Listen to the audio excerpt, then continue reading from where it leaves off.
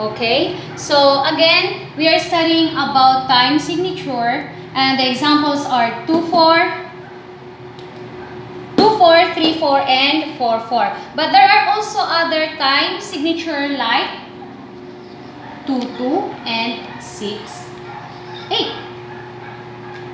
So, we will study further about the bottom number of the time signature. Again, what is uh, the bottom number? It tells what kind of note will receive one beat.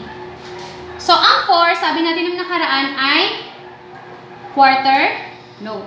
How about 2? Paano kung ang nasa bottom number ay maging 2? So, 2 means half note. So, ano magiging ibig sabihin niyan? There are how many beats in every measure? 2 beats in every measure.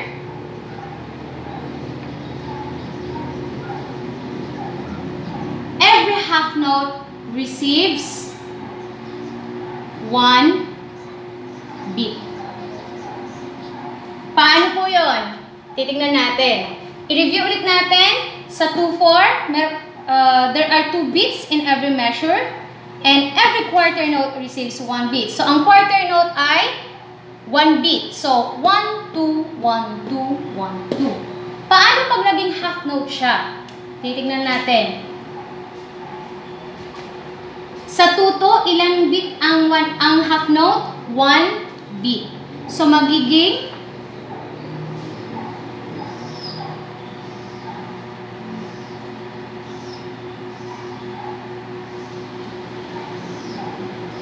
Okay. So, magig ang note sa tuto ay 1 beat. So, it becomes 1, 2, 1, 2, 1, 2. So, kung ang half note sa tuto ay 1 beat, ilang beat na ngayon ang quarter note? O, parang magmamat tayo dito. Okay?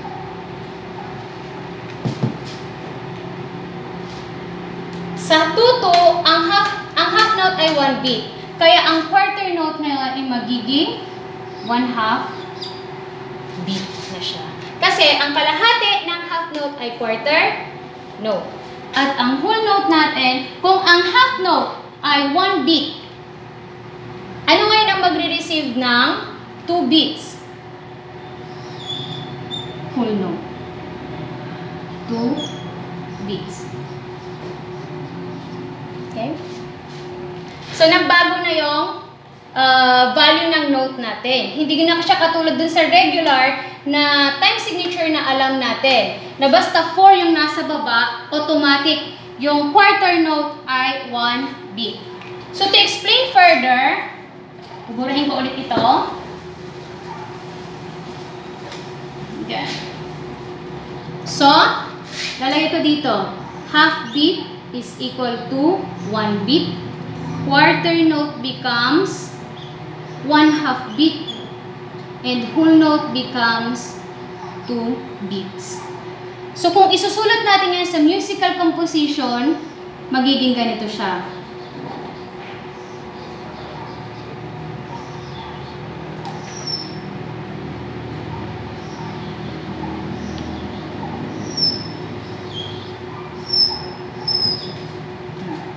Again, tignan natin. Sa tuto, ilang beats sa isang measure? There are two beats in every measure. Every half note receive one beat. So, this becomes one half. One half equals one beat. Half note is again one beat. So, this becomes two beats. One beat and one beat. This is 2 2 beats. Okay? So, tama siya. Again, 2 to, there are 2 beats in every measure. In every measure.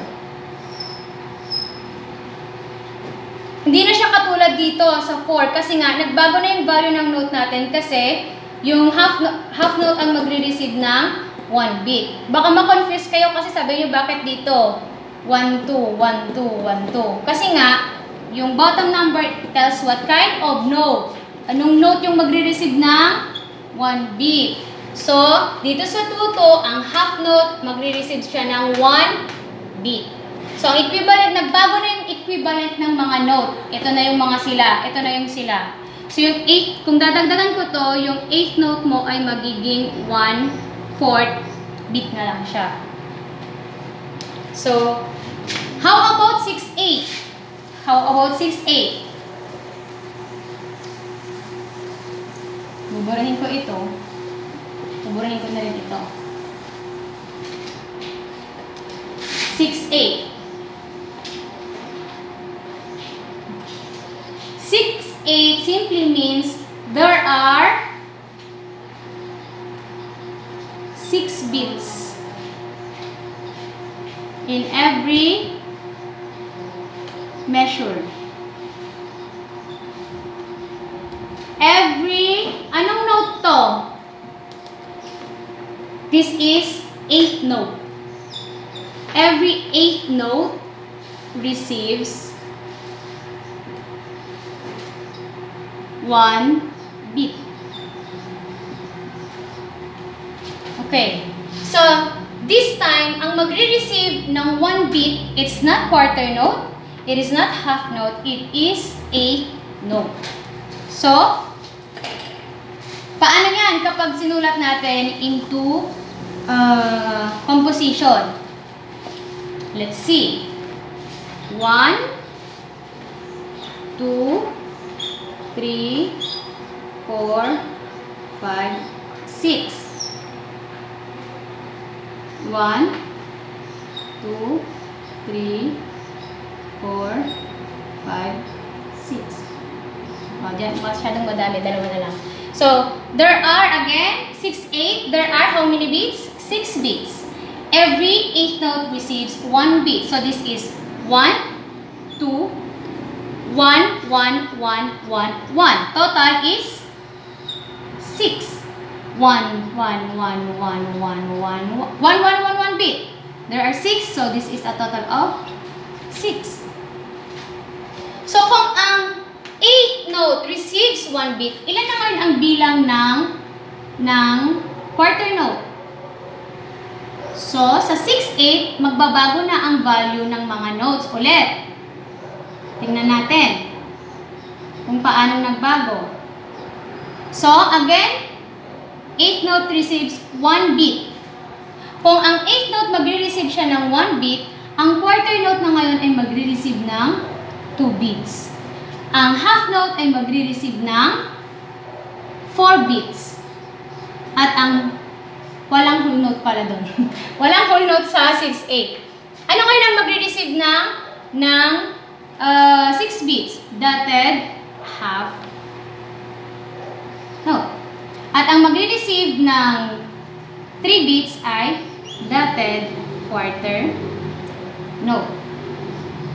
I hope I hope I have a chance to explain further about dotted notes. Kaso natapos na natin yan. Previous lesson. So, ayun siya. So, ito na yung uh, ayusin ko ulit. Magi uh, ito na yung magiging value ng notes sa pag ang time signature ay